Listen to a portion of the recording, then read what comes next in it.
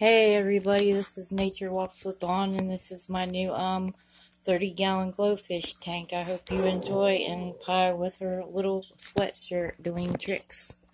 Um here are my um uh, neon GloFish and um they're really um brand new. I got like two of them. Um I got this pink one and yellow one my blue one and everything is um I've had for a while along with um all my um plants and everything my um white lace and um white uh yeah white lace and miniature dwarf lily and uh normal lily up here.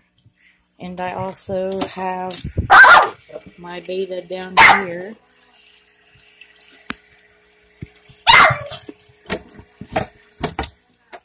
Oh, there he is. Uh, and little pie doing tricks. Um, sit. Sit. Paw paw. Lay down. Over. Good girl, crawl. And crawl.